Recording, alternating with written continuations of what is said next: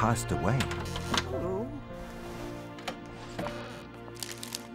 Oh, no, no, come back. Please don't leave me here in this dark place. Oh, this is worse than floating in the sea. Arr! Did someone mention the sea? Come, all you young sailors who follow the sea. Hey ho, and blow the man down.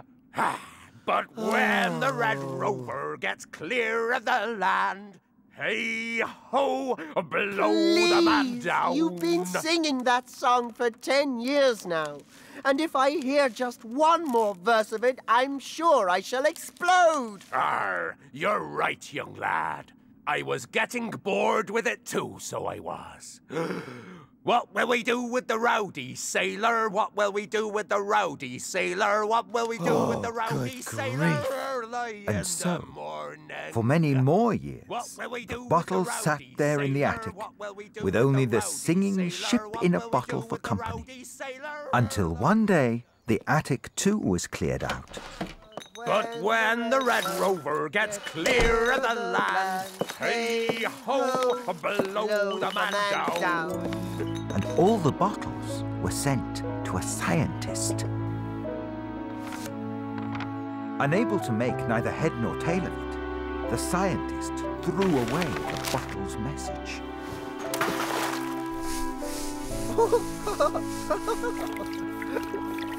Washed and shiny again. Now, this surely is a hopeful sign. Perhaps someone will finally realize I'm a champagne bottle. Oh, don't bank on it, amigo. This guy, he's just using us to bring seeds back to his own country. They're worth mucho money there. Seeds? Seeds? Oh, will I never again be used to hold champagne? So the bottle found himself on the high seas once again. But when the ship docked, he was in for a surprise. Why, I can hardly believe it. After all this traveling, I've somehow ended up back in my very own hometown. Oh dear, what will happen now?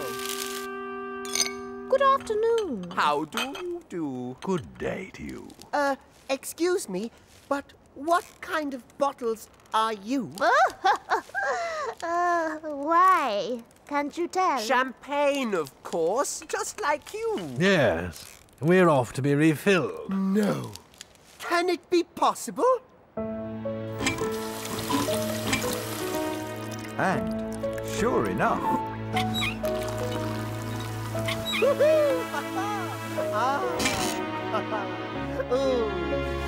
I am finally reborn to do what I was made to do be a champagne bottle.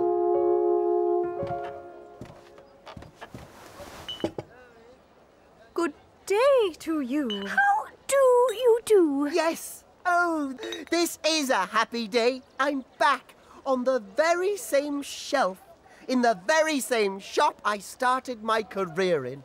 But this time I'm just going to enjoy being a bottle of champagne. No more wishing my life away, no more dreaming of royal vaults and cellars. No, simply delighting in being me. so the bottle learned to appreciate just being himself.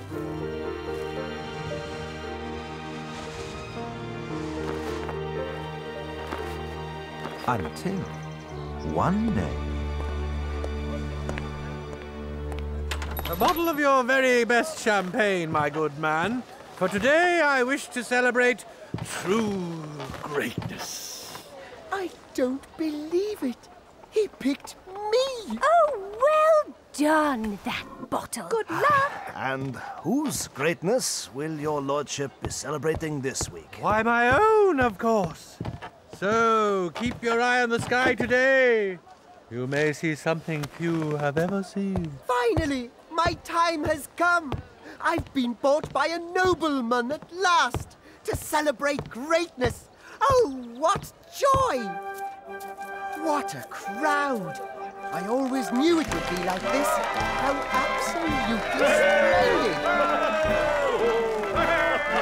Thank you all for coming to witness this record-breaking flight. At 1,000 feet above the ground, I will drink to everyone's health, to flight, to the future!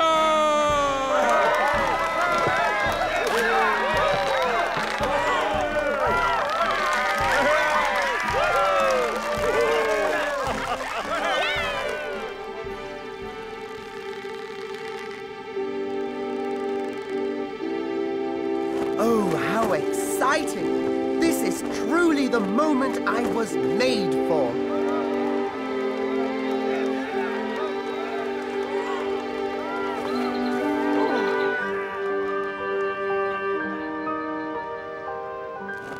Yes, at long, long last, this is my destiny. I've done it! A thousand and fifty feet! No human person has ever flown higher! Yes! I'm bubbling over. Celebrate! To flight, to the future, to all mankind! Yes, to champagne, to me!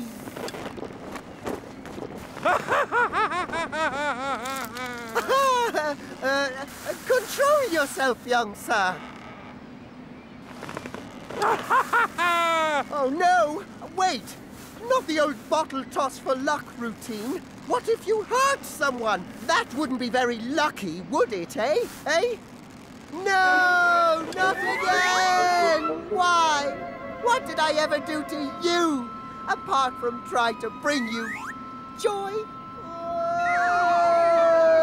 Oh, whatever can that be? Look what's fallen from the sky. Just for you. Well, you are a lucky bird.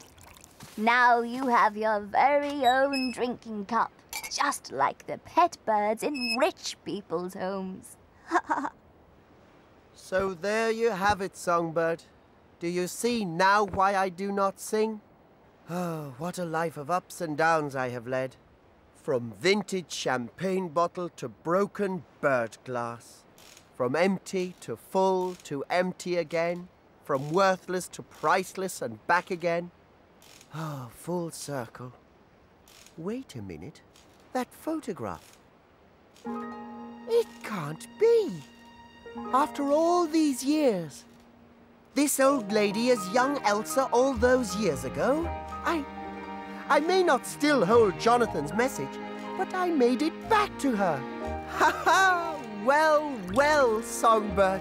Maybe that's worth singing about after all. And so the bottleneck forgot all about how much money he had once been worth, or how high his shelf in the wine shop had been. Realizing just how important he had been in people's lives was now what made him happiest of all.